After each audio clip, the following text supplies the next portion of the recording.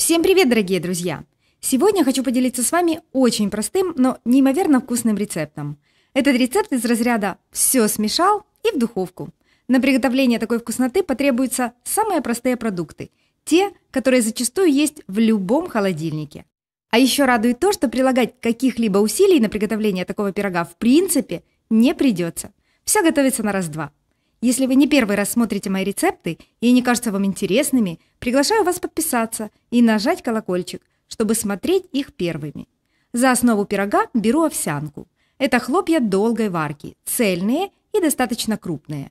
Здесь у меня 12 столовых ложек с небольшой горкой, это 160 граммов.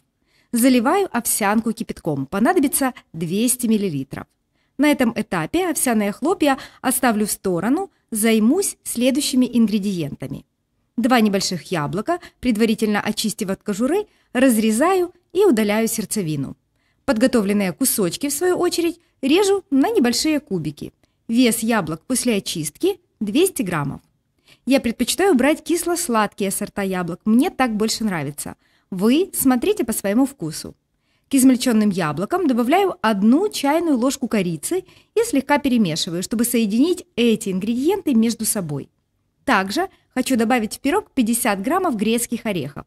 Их просто слегка рублю, но не слишком, чтобы впоследствии в пироге мы смогли почувствовать кусочки тех самых орешков. Ну что, собственно говоря, все ингредиенты подготовлены, можно переходить к завершающему этапу – сбору пирога.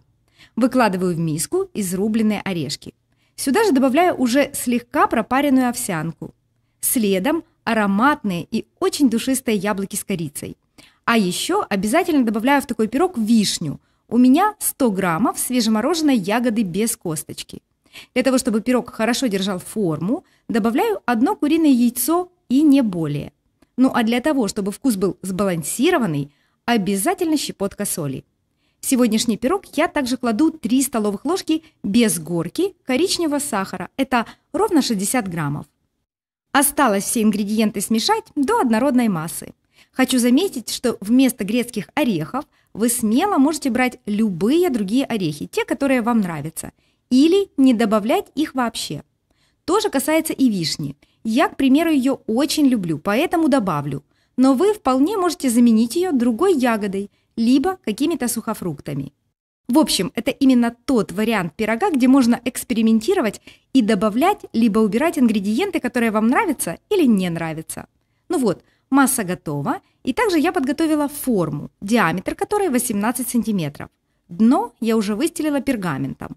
Ну а для того, чтобы пирог, не дай бог, не приставал к бортам, я их смажу небольшим количеством растительного масла и также проложу кусочками пергамента – это позволит без труда извлечь пирог после выпекания из этой формы.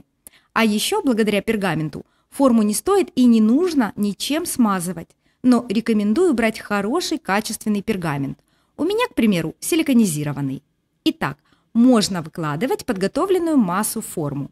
И еще, если вы не употребляете сахар, вы можете смело заменить его тем подсластителем, который используете вы по своему вкусу. Осталось все разровнять хорошенько, чтобы придать пирогу красивый и аккуратный вид. По желанию вы можете сверху дополнительно присыпать пирог какими-то дробленными орешками. Вот так быстро, просто, буквально за несколько минут у нас все готово. Пирог можно отправить в духовку. А ее я уже разогрела до 180 градусов. И теперь буду запекать пирог 30-35 минут.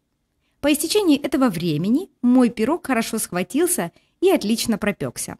Дам ему буквально 10 минут для того, чтобы он немножечко остыл, а затем уберу из формы.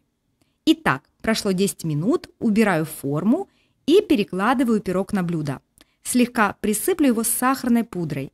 А если вы совсем не употребляете сахар, подойдет, к примеру, какао-порошок или та самая корица. Пирог очень ароматный. Переплетение корицы, яблок – приятный и нежный аромат печеной овсянки. Все это уже сейчас вызывает у меня огромное желание съесть кусочек этого пирога. А с чашечкой чая это просто грандиозно. Как видите, все готовится быстро, легко, без какой-то особой подготовки. Очень рекомендую вам приготовить и попробовать вот такой вкуснейший пирог. Калорийность этого блюда 181 килокалория на 100 граммов. Хочу напомнить, что количество всех ингредиентов, которые я использую в этом рецепте, я уже указала в описании под видео. Друзья, мне будет очень приятно, если вам понравилось такое видео и этот рецепт. Оцените его лайком и пишите мне комментарии. Ну а я от всей души хочу пожелать вам стройной фигуры и приятного аппетита. Не прощаюсь с вами, увидимся в следующем видео.